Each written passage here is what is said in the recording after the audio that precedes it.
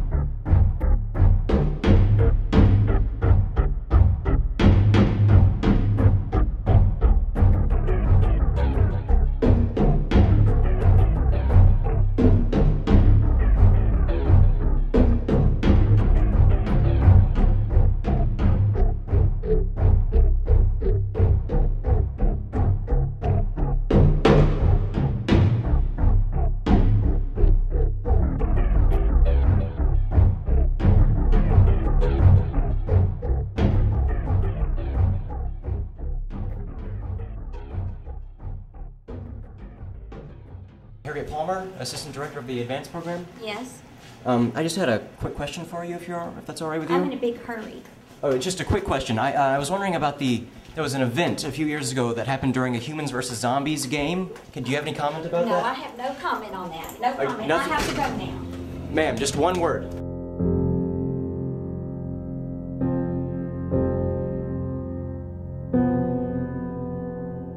There's certainly evidence of a, of a zombie uh, plague in medieval Ireland. Uh, there's some even suggestion that, uh, that in the Renaissance that uh, what attracted William Shakespeare to his Dark Lady was the fact that she was a zombie. Uh, that's never been proven, it hasn't been disproven. It's one of those things. Uh, what exactly they are, we're not sure, except that, of course, they used to be alive and now they're dead. And one of the remarkable things that that, that means uh, is that they're not afraid. They're not afraid of death. Why should they be? They're dead. Uh, in that sense, they're like uh, they're like tigers. They're like sharks. They they simply go forward. They have no reason to look back.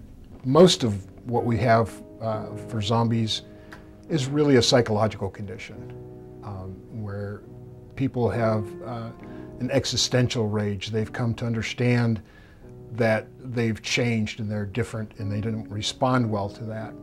When they all feel like they've been taken advantage of, they all feel a revulsion at their character, they want to get back what's been taken from them. One of the things that first happens in a zombie's brain is that it accentuates the natural self-loathing. As Sigmund Freud mentioned, there were kind of three levels of human uh, knowledge of self, and part of it is the death wish that goes, it's a natural part of our brain, causes us to take risky behaviors. In the zombie, this gets over accentuated and becomes uh, a total self-loathing um, that drives all their behavior um, drives them to consume everything in their path, including humans, whom they blame for their condition. So this is something that you like to do. Oh, I'm very passionate about my work. It's, it's my life. The real question here is, you know, in order to have a zombologist, there has to be zombies, and I think many people are questioning that fact. What would you say about that? Just to put all the rumors to rest, they are as much a part of the biosphere as we are. Tell us about the uh, zombie eating patterns. Well, zombies, their diet varies, but usually it's about 80% central matter, 20% dura mater, and occasionally they'll have other bodily secretions. Um, why so much central brain matter? Well, it's where the most of the nutrients are. Most of the dense, core, thick part of the brain is where all of the nutrients are, as opposed to the outer, the dura mater, where it's sweet, where actually you'll find most of the younger zombies munching on.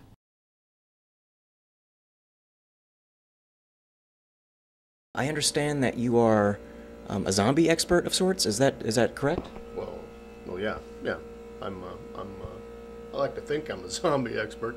Uh, A lot of guys do, though. Yeah. Right? Uh, um, you got your documentaries out there. You got Zombieland, you got Night of the Living Dead. They don't know what's really going on. I know what's going on. Well, Want a what? cup of coffee? Oh, I'm fine, thank you. Um, what is going on, if you don't mind my asking, with zombies? You know? Okay. First thing duck urine. Yeah, duck urine. Smell this. Oh, Want you to smell this. Can you smell this hair? Huh? That's duck urine. That's punching. now, you think it keeps them away, right? That's what they say. They say it keeps them away. But really, it draws them to you like flies, draws them in, right? That's where the movies lead you wrong, you see. The movies would have you believe that duck urine will keep them out, but it brings them in, it brings them into you. Really? That's just the first stage. That's stage one. I call it stage one. Yeah, that's right. And stage two? Stage two, you got your tinfoil. Right here. You got a good sturdy piece, Reynolds. Comes around like this, down on top. What does that do? What does it do? It blocks the urine. The zombies have come in. Now it blocks the urine. They can't find you anymore. And the government, they can't see in here anymore. You see, they can't see in here. Tinfoil makes them crazy like garlic and a vampire. Now they've come into you, but now you have the advantage. And not everybody can read your thoughts any longer, you see. Right? That's, I call that phase two. That's phase two. You sure you don't want coffee? No, I'm fine, uh, but I'm extremely curious as to phase three. Well, okay. Phase three, you got a cricket bat, right? Cricket bat is the best anti-zombie weapon ever invented by man. It was invented by the Pakistanis in 1938, right? And uh, they've never improved upon the model, upon the design. You got to get the cricket bat, draw them in, protect yourself, right to the head, one blow to the head. Now you won't see that on the movies, you don't see it on the documentaries, but that's how we take care of zombies, at least in this town. Wow. Um, well, if you don't mind my asking, what, how would you, uh, or what causes would you give for, for the occurrence of zombies? Theories on that. One theory, um, it's due to some kind of virus. Another theory, the government's been experimenting. I say it all started when they began to give calcium to the gypsies, right? Fluoride in our water, calcium in our gypsies, yeah? You notice those things always come up together? You notice that comes up together, right? Before that, we didn't see P the Undead running around. We didn't see um, men and women, you know, going down the street together holding hands. None of that. But calcium in the zombie, it's calcium in the gypsies, the zombies come up, and you got public displays of affection everywhere. Yep. Wow. Actually, what actually, what do you, uh, what do you, what do you do here at the university? I didn't catch that.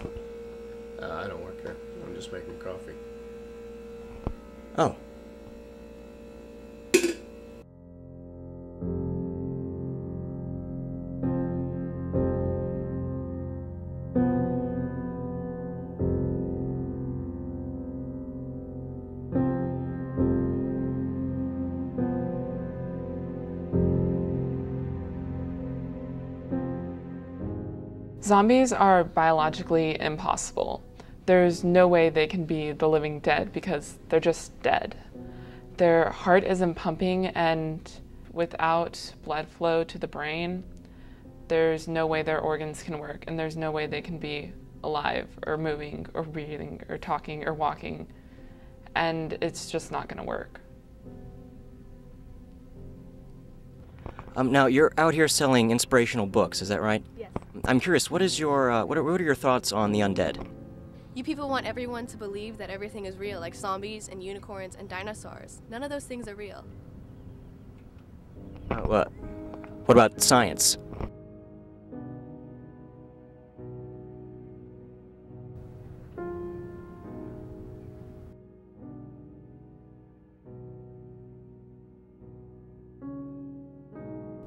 Would you, what, what would you have to say if I, if I asked you about, you know, the, the man-eating part of your existence? I mean, it's a way of life. It's we can't really control it because y'all have your vegetarians, y'all have your vegans, it's just how we have to eat. It's not even a choice. Well, true. Maybe the difference though is vegetarians and vegans, you know, eat um, plants, and you eat, you know, people with families and. I mean, we don't have a choice. It's just, it's not like we want to. We were humans too. We have feelings, we just have to. It's what we have to eat. I mean, you want to question a lion for eating a gazelle? Yeah, I mean, mindless beasts. There's nothing. I- Really? Really? We're gonna go? I can't go there. We're, we're civilized people. This is part of our life. This is what we do. I'm out.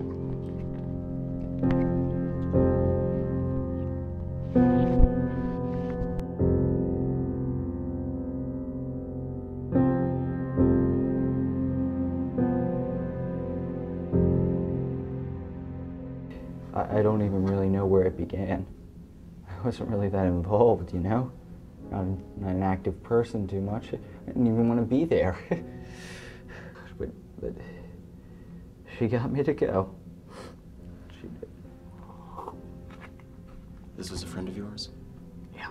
She was a really close friend. She could, she could get me to do anything practically, it seemed like. She was always so much stronger than me. So much braver, so much better. So describe the the change into the chaos. Chaos. I don't even know where it began. It wasn't really a change. It seemed like nothing had changed at all, except now people were dying. Can we uh, can we get him some more water?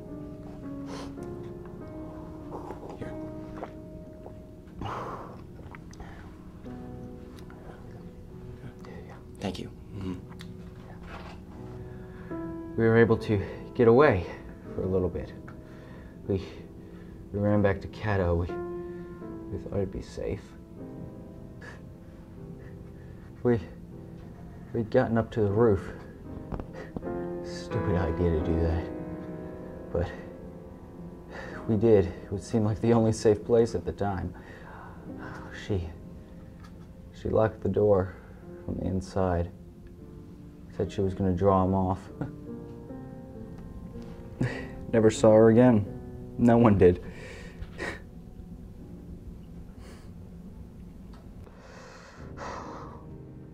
How long did you stay on the roof? Not too long. Not too long at all. Yeah. The things. I don't know how they did it, but they got there. They climbed up the walls. We tried to fight them, we did. But there were just too many. Just too many. How did you make it out alive? I didn't.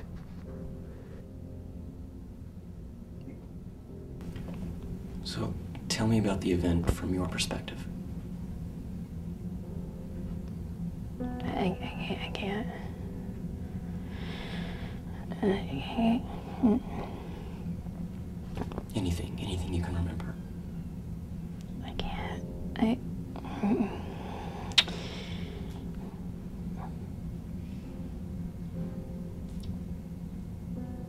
What was the first thing you noticed that was different?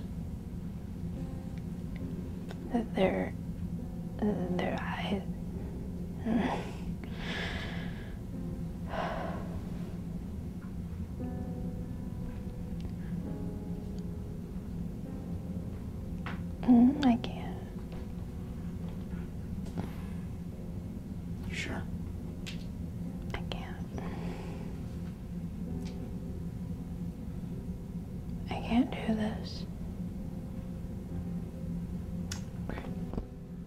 So, um, tell me what you were doing at the game, the Humans versus Zombies game, at the on the day of the event.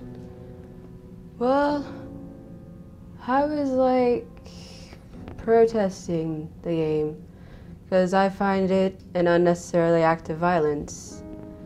And I don't understand why someone would even participate in something so unneeded as a game such as that. So, what happened when uh, the change actually took place? Well, we started seeing way less humans. And basically, zombies were just coming out of everywhere. But when confronted with one, I like donated my left hand and made friends with it. And it joined. Sorry, you donated your left hand? Yes. Oh. So you you gave the zombie your left hand. Yeah. And then what did it do? He joined my protest. They're actually kind of nice if you take the time to talk to them and not just run away screaming like most people would. I survived because I have one thing none of the other students had discipline and ingenuity. First, I made my stronghold in the cafeteria. I made fake brains out of leftover food and I covered my shoes in ketchup. But probably the most valuable tool I obtained there was a roll of tinfoil. It sounds weird, I know, but that foil saved me from many a close call. But the cafeteria didn't hold for long. Next few days, I was constantly on the move. Then I noticed that the zombies would never go near that big Grim Reaper, you know, the one behind Cato. So I perched up there for a week until the zombies completely disbanded. I slept upright and drank my own urine.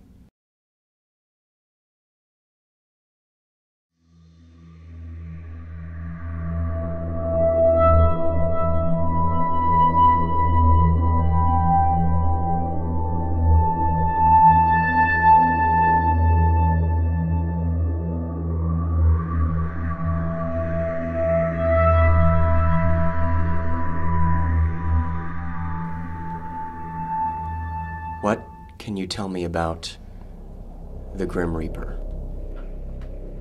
It was a creepy looking scarecrow in the backyard where no one ever went. They all were afraid of it, scared out of their mind. Maybe that's why the zombies were scared. Maybe they remembered or something. I don't know.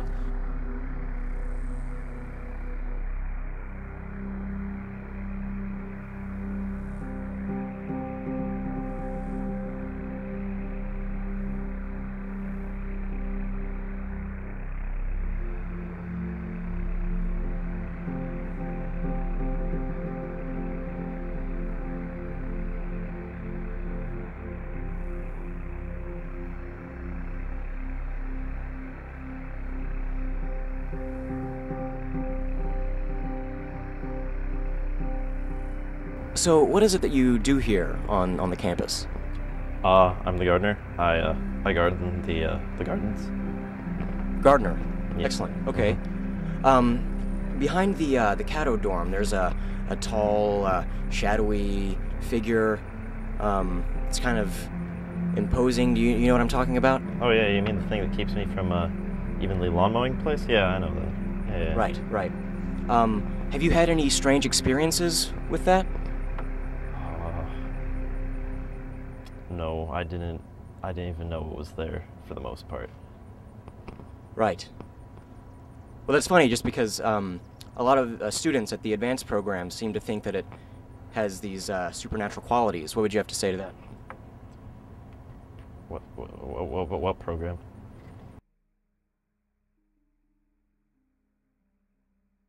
We received some uh, interesting accounts from eyewitnesses of the event that the zombies themselves were show or showed fear of this large um, kind of uh, statue, you Is know, behind the dormitory. Is it- is in black in- robes? It- Ah. They call it the Grim Reaper. Yes, Okay. Could you um, ex- Makes ex- perfect any- sense, of course.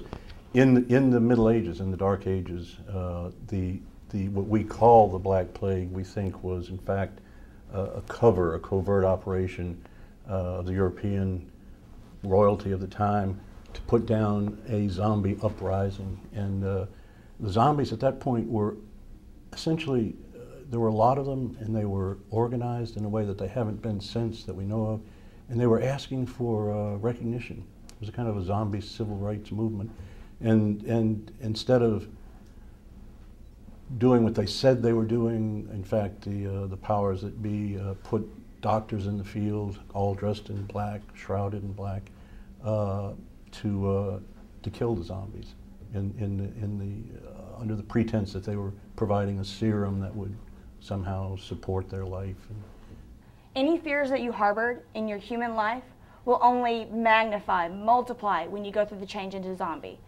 So if the students uh, at, at the advanced program were, were afraid of the, this figure behind the dormitory, then when they transformed into zombies, they would have retained that fear. They would have definitely retained that fear all the way through their change. the most mysterious thing for me as a researcher about zombies is not whether they exist or when they existed, although we can talk about that, but, but how they communicate.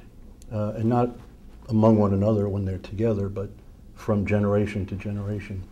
Since there is no formal history, there's no written history, we don't understand how they know who they are and what to do, unless it's something like the way bees or ants understand what to do.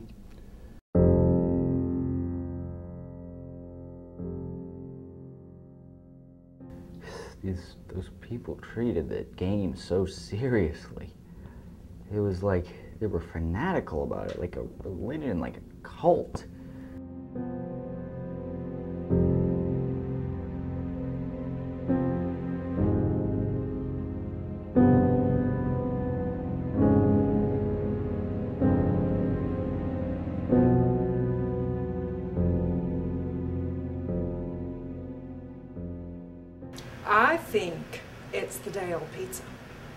Students that come to advance have to have pizza all the time. They don't eat all up and they put it in their rooms and go and eat it the next day.